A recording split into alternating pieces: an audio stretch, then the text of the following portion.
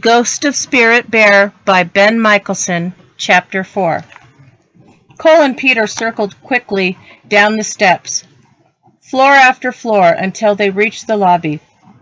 Peter headed straight for the broken doors, but Cole stopped him with a loud whisper.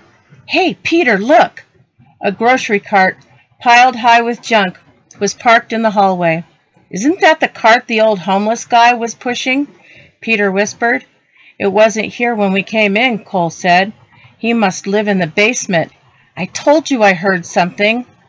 Both boys rushed from the building and across the overgrown lawn toward the street. Forget the bowling balls, Cole said. Do you think he lives there? Peter asked, hobbling. It's probably where he stores his victims. Quit it! I'm being serious. When they reached a spotlight and paused to catch their breaths, Peter said, Cole, maybe that old guy is scared of us too. We haven't done anything to him. He hasn't hurt us either. I wonder what happened to make him homeless. Who knows what happened to make Keith a bully, Cole said. If we run into those guys again, you should just run, Peter said. Then only one of us gets beat up. That's dumb, Cole said sharply. We're friends, aren't we?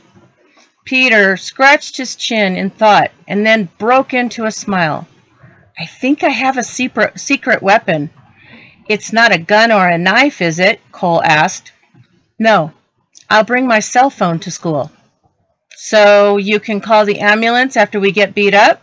Don't be a jerk. Listen, we're not allowed to use cell phones in school, but it's not illegal to carry them. I'll get the principal's number somewhere then I'll pro program it in so all I have to do is push the send button and it will dial automatically. I won't even have to take the phone out of my pocket. I have one of those little microphones that I'll clip inside my shirt. If we get attacked, I'll reach in my pocket and push the button. The principal will hear everything that happens. I don't think it'll work, Cole said. Do you have a better idea? Cole had to admit that he didn't. Wednesday morning, Cole struggled with his thoughts and emotions as he sat in the freezer. What if this time on the island had been a waste? Every day his anger seemed to come back stronger. What if he was nothing more than a big screw-up? Peter stood and opened the freezer door. I'm about done, he said, casual, try, casually trying not to show his shivering. Cole followed him out. Betty was whistling merrily as they walked from the back of the grocery store. She waved to them. So are you both happy now? she called. It's not something that happens overnight, Cole said, irritated, by her cheerfulness. Peter seemed annoyed, too. How come you're always happy? he asked, suddenly stopping at the counter. You must not have much bad stuff in your life. Betty allowed a sad smile.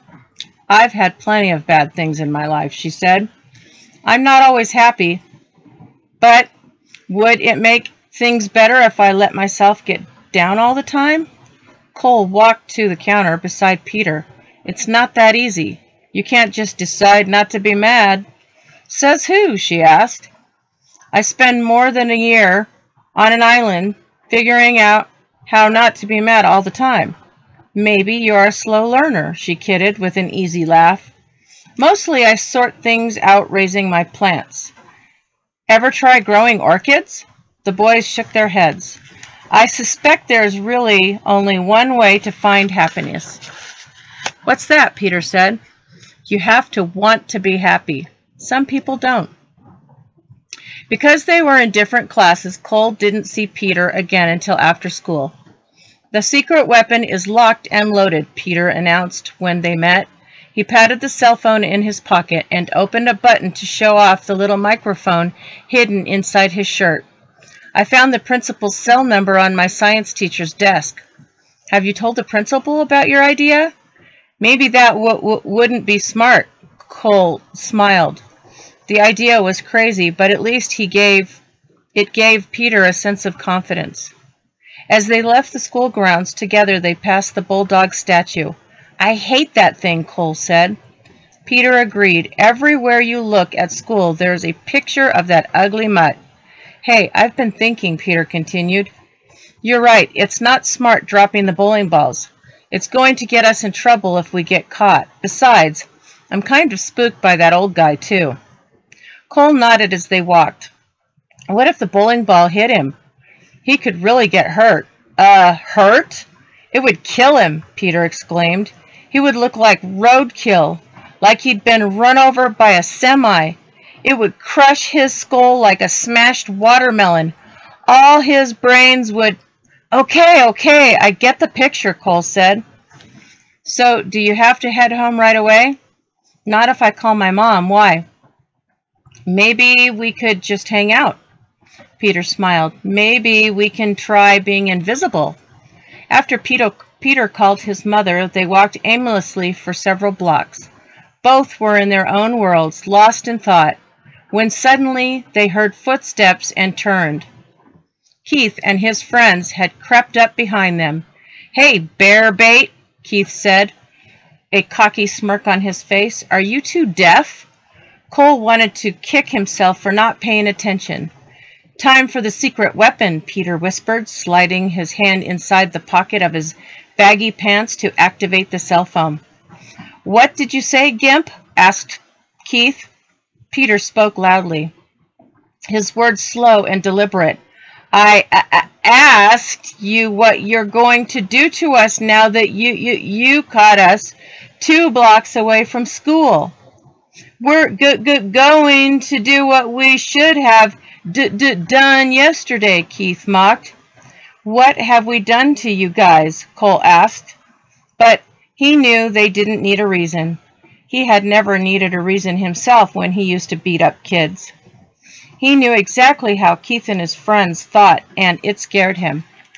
Maybe I don't like you, said Alex, a skinny blond kid from Cole's math class.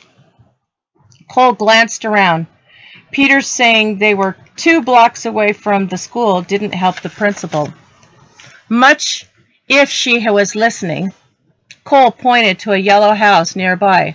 You better leave us alone. The principal lives in that house, he said loudly. 246 Elm Street. Peter looked quizzically at Cole and then grinned. Oh, yeah, she lives at 246 Elm Street, he repeated slowly. What a crock of bull, Keith said. You think we're stupid? He shoved Peter. If the principal lives there, my mother lives in an igloo. Peter was scared, but the cell phone gave him confidence and he smiled. Where did your mom get an igloo? he asked. Keith slapped Peter hard. Get that grin off your face, retard, he said, or I'll wipe it off. Cole saw the group smirking and knew they were the most dangerous when they were showing off to one another. Quickly, he sat down on the sidewalk and pulled Peter down beside him. Don't say anything more, he whispered. Be invisible. What are you doing now? Keith asked.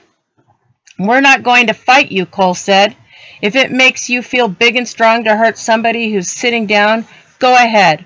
I don't care if you're sleeping, Keith said, kicking Cole in the ribs. Raw fear showed in Peter's eyes as Keith turned and kicked him too. Eddie stepped forward and kicked Peter in the back. Cole was desperate to stop Peter from getting hurt. Hey, dog breath, he shouted. Why don't you kick somebody your own size? Eddie and Keith laughed as they both kicked Cole at the same time. Lying on his side, grimacing, Cole could see cars passing on the street. Drivers turned to look, but none stopped to help. Another hard kick in the chest took Cole's breath away. Then he heard Peter grunt from being kicked again. Cole looked up at Keith. Five against two isn't exactly fighting like a man. Okay, then get up and fight. Just, just me, Keith said. Yeah, right, Cole said. And if I whoop you, your friends are going to just sit back and watch. I don't think so. I'm not that stupid. You sure talk a lot for somebody who is getting his butt kicked. Keith kicked Cole again. Suddenly, a blue station wagon swerved to a stop beside the curb, and Miss Kennedy stepped out. The group started to run. Stop, or I call the police, the principal shouted. I recognize every one of you. Line up now. Reluctantly, the gang returned and shuffled into position. Cole and Peter stood, clutching their bruised ribs. Peter's nose was bleeding, and Miss Kennedy handed him a tissue. Are you okay? she asked. Peter nodded. What are you doing here? Keith asked the principal timidly. I want to know what you're doing here, she replied. We didn't do nothing to them, exclaimed Eddie. Oh, let me guess, the principal said. Peter and Cole just walked up to you again, and this time they sat down on the sidewalk in front of you so they could relax and enjoy your company. We weren't really hurting them, uh, Alex said. We were just messing with their heads a little, said Keith. Yeah, we were just joking, the others agreed. Maybe we should joke with you a little, Peter said. Miss Kennedy's voice grew cold.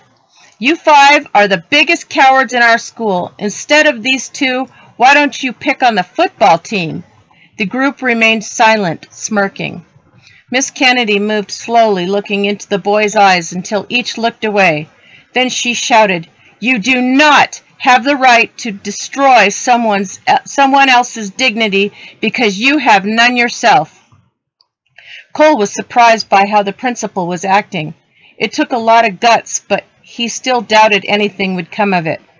There weren't consequences in this school, not like on the island. There, if he chopped wood and covered it, he had dry wood for the winter. If not, he didn't. If he attacked a bear, it mauled him. If he gave it space, it trusted him.